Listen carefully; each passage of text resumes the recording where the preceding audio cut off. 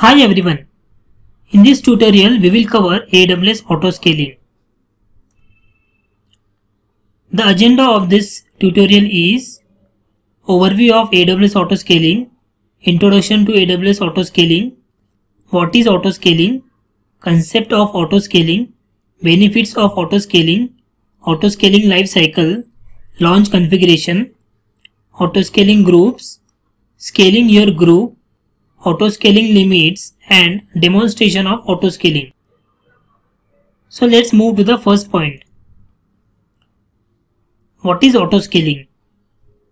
Autoscaling helps you ensure that you have a correct number of Amazon EC2 instances available to handle the load of your application. You create collection of EC2 instance called as autoscaling groups.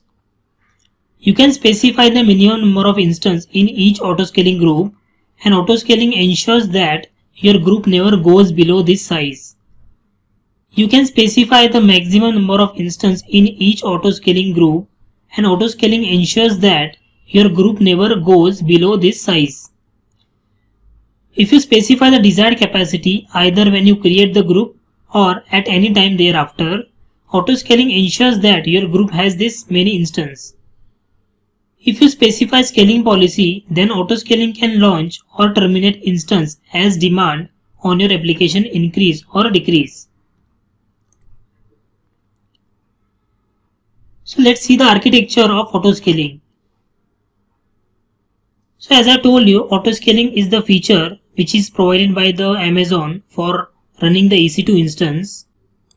Suppose you have hosted one web application on EC2 AWS and uh, suddenly the request got increased.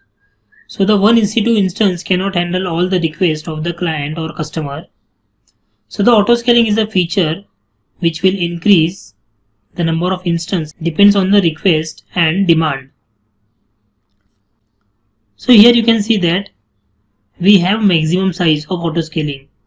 So we have to set the autoscaling policy minimum and maximum instance. So here the minimum size is 1 instance and maximum size is 4 and there is a desired capacity of 2 instance. So the number of requests suddenly got increased so the auto scaling group will create one more instance and some request will route to that instance.